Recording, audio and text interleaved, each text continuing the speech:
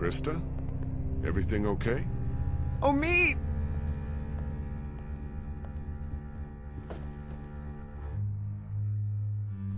Uh, that may not be wise. Christa, don't! Stay back!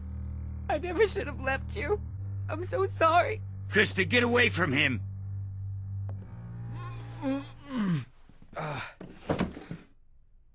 Hey. Back already? We got you medicine. Good. Feel like I could use some.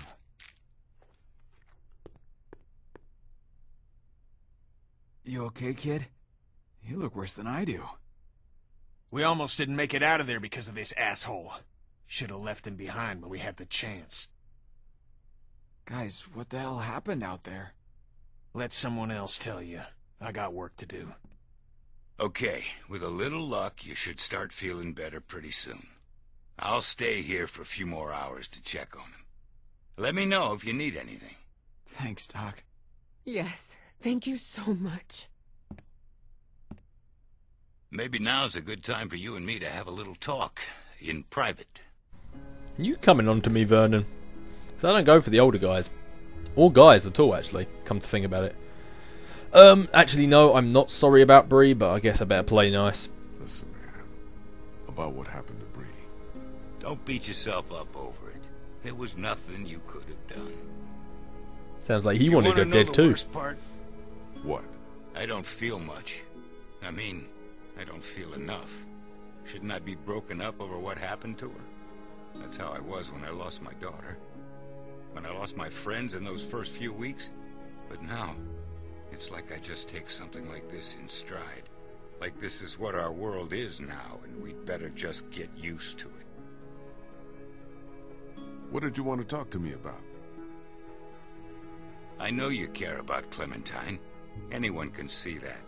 And I know you want what's best for her. But this plan of yours, putting everyone on a boat with no destination, do you really think that's her best chance of finding somewhere where she can be safe?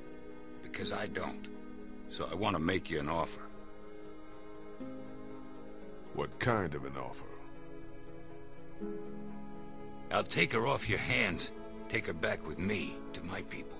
We're well supplied, well hidden, and a lot of us have had kids of our own. And now Crawford's fallen, we got nothing left to fear from them.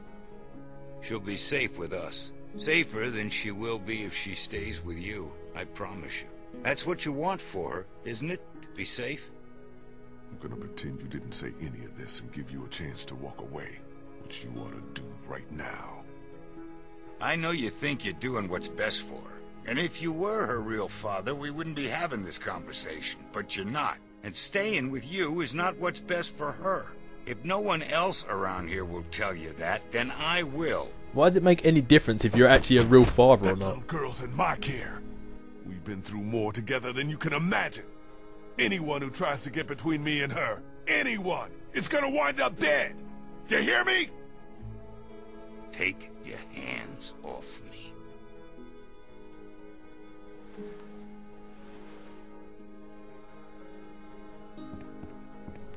Yeah, you walk away.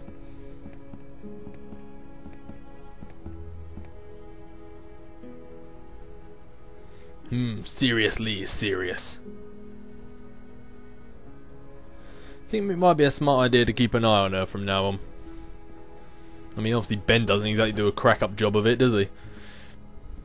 Hey, going somewhere? Yeah, I'm about to head out. I, I just wanted to say thanks for everything. It's been fun. What are you talking about? Kenny's working on the boat right now. Thought you were coming with us. God knows you earned it. Yeah, I've been thinking it over. It's not for me. Sounds like it'd be pretty crowded, and I never did like the water. You sure about this? I'm sure. I've always done better on my own, anyhow. Plus, whoever sticks with us seems to die pretty quickly. Listen, I'm not much for goodbyes. Tell the others for me? Sure. You take care of yourself, Molly. You too, Lee.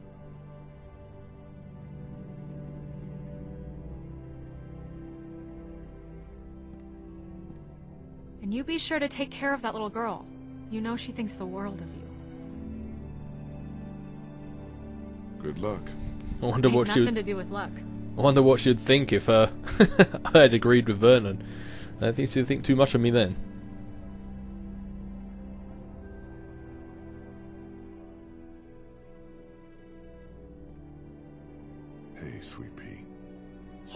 Working on the boat. I know. What are we going to do after he fixes it? Where will we go? Timbuktu. I don't know. We'll figure it out. We always do. Clem, honey, what's wrong? Is Ben going to be okay? He doesn't seem the same since he got back. Ben's a good kid. I think he's just feeling guilty about some of the decisions he's made. He's getting a feeling like he's a burden on the rest of us. Before we leave tomorrow, will we have time to look for my parents? Um. I'd like to, Clem, but I don't think we'll have time. We really shouldn't stay here any longer. It's not safe.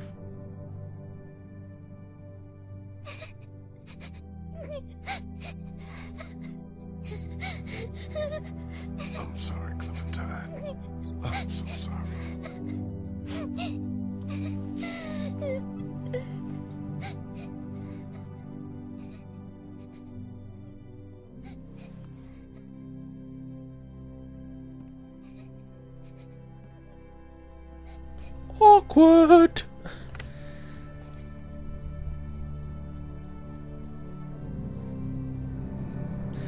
That's finally he's doing it right. Actually keeping an eye on her. He turns his back for one second, she seems to disappear. No, actually, actually, I'll take that back. It looks like he dozed off. Clementine? Yeah, that doesn't surprise me. Clementine?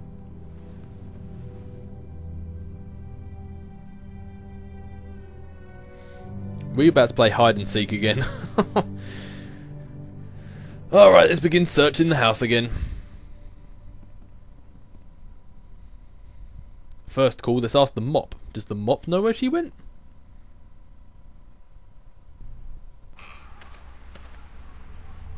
Clementine? Clementine! She's really not understanding this whole stay close to us thing, is she?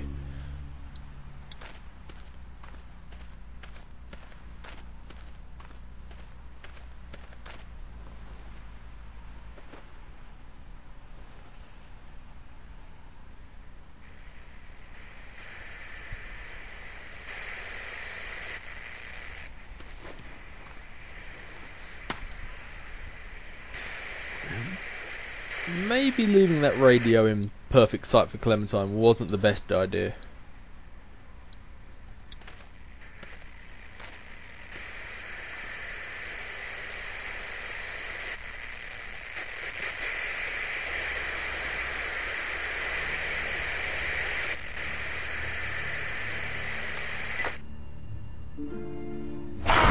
Whoa, goddamn! Curb stomp him!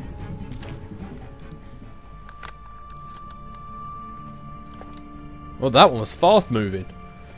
A lot faster than the rest of them normally are. No. No. No. No. No. No. Fuck. Lee? Lee? You out here? Lee? Uh oh, SpaghettiOs. Looks like uh, Are you crazy? What are you doing out here? It ain't safe. Lee? Where's Clementine? She's not in her room. Vernon ain't in the house either. What the hell is going on? Whose blood is that? It's mine. Oh my god. No way. No. No fucking way. There's no time to worry about me. Clementine's gone. There's no chance she just wandered off on her own? No. No way. Then who the hell took her? I don't know. Last night Vernon came to me and offered to take her with him. Said she'd be better off. Son of a bitch. I knew we couldn't trust that fucker. Wherever she is. I have to find her. Okay. What do you need from us? Clem may not have much time. We have a better chance of finding her if we all go together. Who's with me? We're all responsible for Clementine. And in your condition, you may not make it to her in time. She needs our help. All of our help. Damn right. We can't let you do this alone. So that's settled then. We'll look for Clementine together. Hell yeah. What are we waiting for? Thanks, you guys. I appreciate it. Really.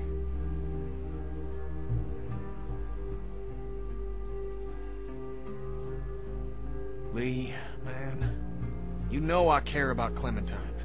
And I am a Christian man. And I keep asking myself, if this was me, asking you for help, asking you to put your life on the line, would you be there for me? Because there have been plenty of times when you ain't been. Looks like helping Kenny was no need. You know what, Kenny? Go fuck yourself. You gonna let a little girl die because I didn't have your back every damn minute? Maybe you should grow the fuck up.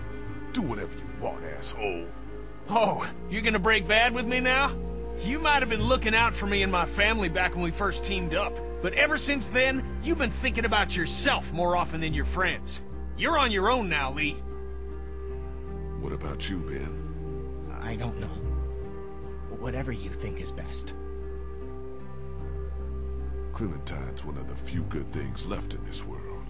She stood up for you and Crawford when Kenny wanted you gone. Don't you think you owe it to her to stand up for her now? You're right. I owe her. I swear, before this is all over, I'm gonna show you I can do something right. I'll prove it to you. You'll see.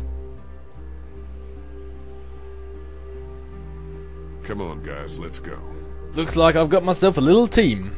Minus Kenny, because it looks like me trying to be good with him didn't quite work out in my favour in the end, so... At least I got to tell him what's what.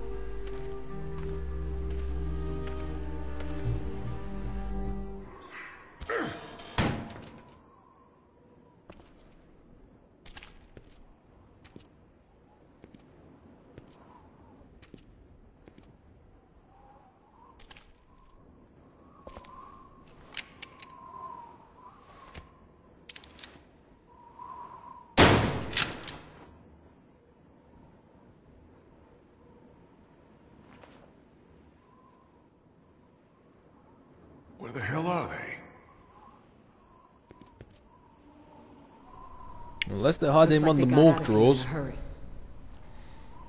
Vernon, get out here! There doesn't have to be any trouble here. All I want is the girl. Give her back and nobody needs to get hurt. Under that logic, I'm sure he'll probably just stay hidden.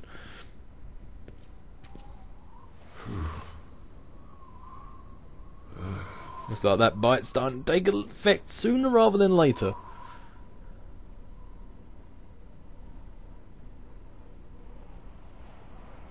Okay, this ain't time for a power nap now, Lee. Up and at 'em.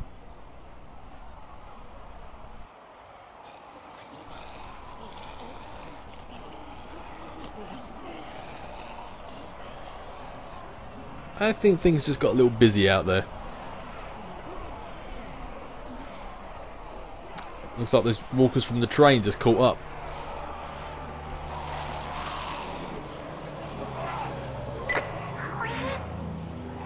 Clementine, are, are you all right? Where are you? Vernon, you son of a bitch! Hello, Lee.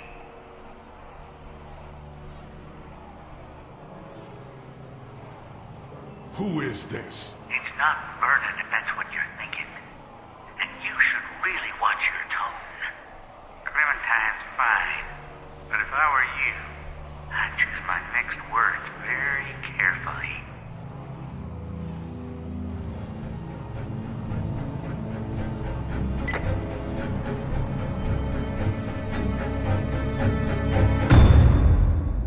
They weren't the words I chose.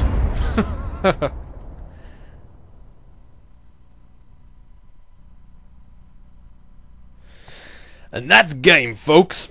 What happened to the next time on Walking Dead? That's a bit anticlimactic. But anyway, let's go through the stats. Right, you and 25% of the players did not kill him. Really? That one actually shocks me. I thought most people would make Kenny do it, you know, reconcile and make him get over it and all that sort of jazz. But only me and 25% of people did. That's crazy. Uh, Hippo- uh, Hippocratic Oath. Did you lie to or threaten Vernon? You and 66% of players were rational and honest. Oh, that's not as surprising, I guess. But uh, Home Alone. Did you bring Clementine with you to Crawford? You and 74% of players brought her. Yeah, that kind of makes sense. I think a lot of people obviously just try and keep Clementine sweet. So obviously they're just going to do whatever she wants them to do. For whom the bell tolls, did you let Ben fall to his death? You and 67% of players pulled him up. The first time I played this, I actually let him die. I immediately regretted him because the way it was, the way I thought that scene was playing, it made it look like they wanted you to drop him. Like the way the music all calmed down, it kind of went slow mo. He told you he had to. It looked like it was like the right move to do. If you see what I mean, like the game wanted you to do it.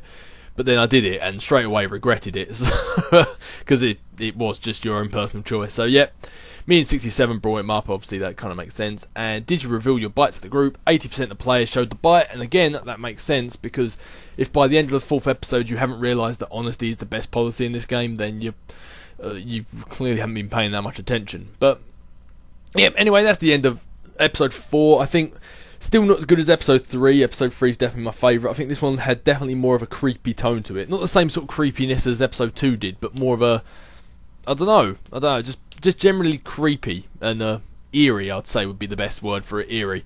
But yeah, that's the end of episode four. I'm going to call it quits for now. And as always, I'll see you guys in episode five. So I will catch you guys later.